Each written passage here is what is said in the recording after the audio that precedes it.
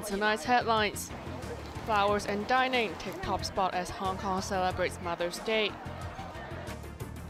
Justice Secretary Paul Lam said an injunction over a protest song helps define a red line as SAR authorities urge tech giant Google to take down the song. And in a tragic accident, a mainland tourist dies after falling off Lion Rock Mountain.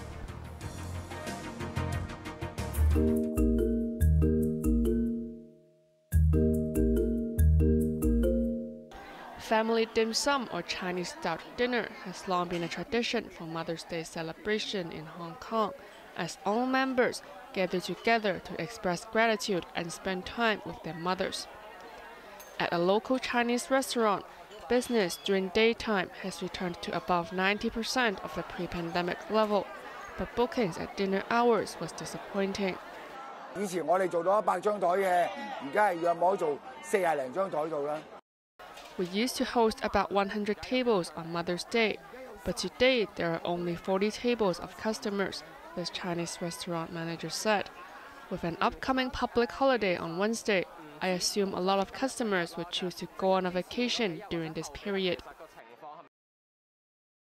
EGL Tours did reveal that business has surged over the weekend with a 20 to 30% increase in people signing up for two day tours to various parts of mainland China to celebrate the occasion. Up till last Tuesday, the local travel agency received more than 200 sign-ups for a two-day Zhongshan tour departing on Saturday. Some have chosen to take a five-day holiday altogether and brought their mothers to Southeast Asia. Simon Wong, president of Hong Kong Federation of Restaurants and Related Trades, expects local restaurant business to drop by 15% as compared to last year, mainly because citizen spending mechanisms have changed after the pandemic. Chinese restaurants used to raise the price for Mother's Day's dinner in the past, but this year they are offering early bird promotions and discounts, as well as free wine for those who purchase a meal set. Some restaurants have even decided to cut out offering combos. Citizens now choose to order a la carte instead, so they cancelled meal sets altogether.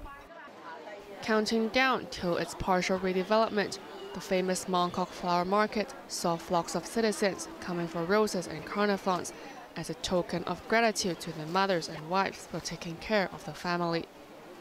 Though there's indeed some business, flower store owners aren't optimistic about the overall situation. Carnations are sold as cheap as $38 for one and $60 for two. Some shops revealed that they have stocked up 50% less flowers than the previous year, and they have 20 to 30% less business compared to last year. Janice Yu, Cable News.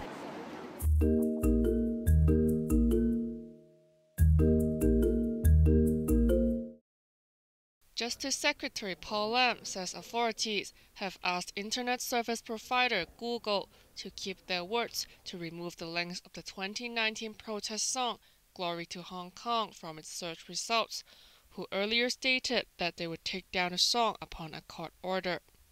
The Court of Appeal last Wednesday granted an interim injunction Lam sought last year over the song, which has frequently been mistaken overseas for China's national anthem. Speaking on air this morning, Lam said the injunction will help define a red line and provide strong deterrence to whoever that is using this song to incite illegal seditious acts, including promoting Hong Kong independence. 唱首歌，哇，好感动啊！其实就背后就系一个非法嘅目的。你点样系点样利用首歌，想达到啲咩动机目的？呢、这个先系个问题所在。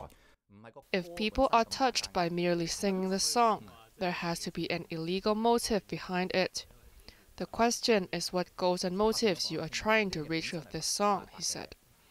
However, authorities are now suspicious of the delayed deletion of the 32 YouTube links to the now banned protest anthem and hopes that the internet giants can speed up their actions and, if not, give a response as soon as possible.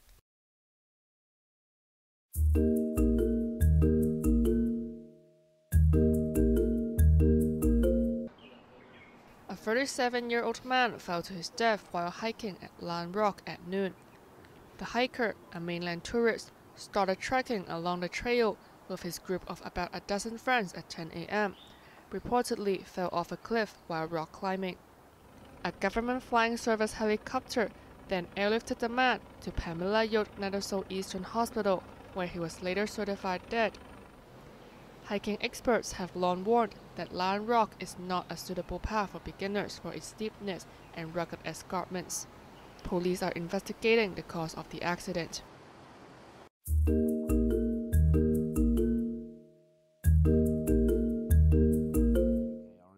UK Foreign Secretary David Cameron said at this stage Britain would not be following the United States and withholding arms supply to Israel.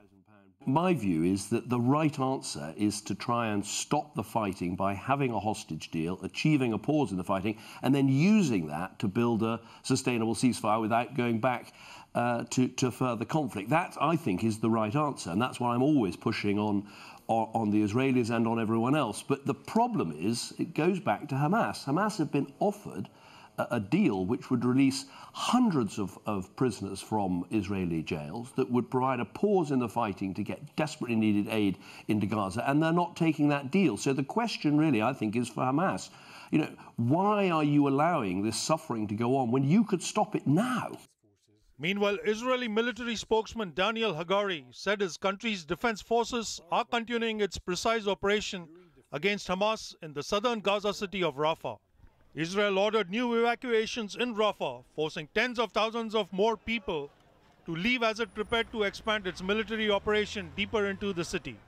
The intensified Israeli offensive, meanwhile, killed 19 people overnight in the central Gaza city of Deir al-Balah. Women and children were among the dead. With truce negotiations stalled after the invasion of Rafah, a breakthrough for a ceasefire deal does not seem likely.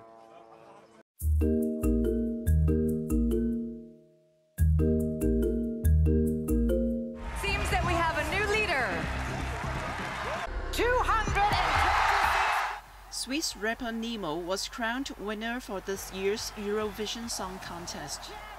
The 24-year-old queer singer's song is about the journey of coming to terms with a non-binary identity, with hopes that the contest can live up to its promise and continue to stand for peace and dignity for every person in this world.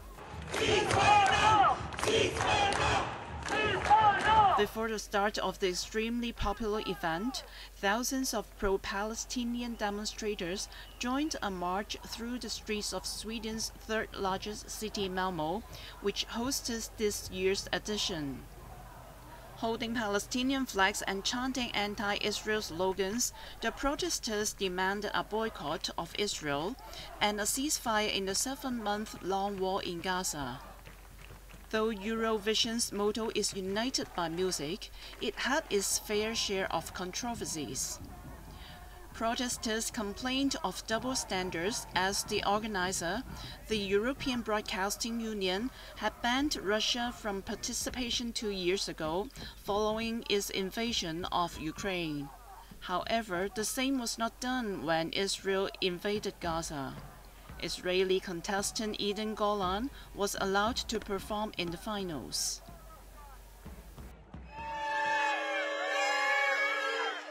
Demonstrators in the fan zone outside the venue jeered and booed Golan when she took the stage. Her song was almost disqualified after the organizers said it violated the ban on politicized lyrics, with references to the Hamas attack on Israel last year. Had to change some of the lyrics in order to compete and finished in fifth. Best Leung Cable News.